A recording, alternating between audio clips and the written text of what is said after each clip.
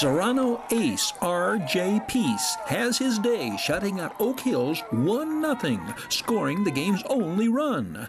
The 6 2 senior strikes out six in the complete game victory. Impressive as the Peace offerings from the mound is, the teams may still be locked in a scoreless tie, not for this outstanding piece of hitting by R.J. Peace, driving a Solomon Bates fastball up the middle to put the winning run aboard in the top of the seventh. A passed ball, an infield hit, and a pitch that gets away lead to the only run to be scored this day. RJ, what was the most fun? Getting the base hit to lead off the seventh, scoring the winning run, or pitching the victory? I gotta say, pitching the victory. It's a, it's a, it's a hell of a time to get the last out against Oak Hills. I've been waiting for this moment for four years. The matchup crucial, decisive in Serrano's bid to dethrone Oak Hills as Mojave River League champions. The game pits, according to many, the two top pitchers in the high desert, if not all San Bernardino County.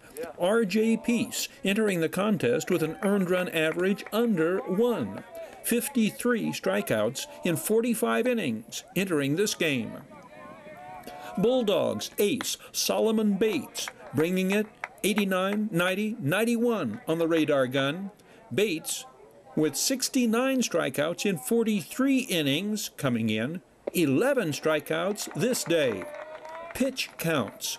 Bates and Peace, a factor. Peace enters the bottom of the seventh, having thrown 71 pitches.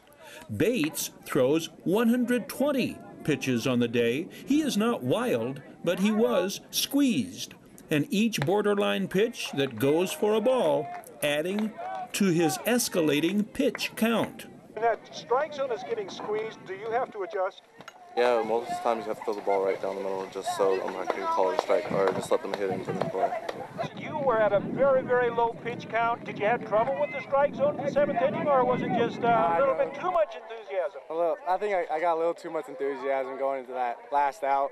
I had to settle myself down when I faced Solomon had to, had to just execute, and I did it.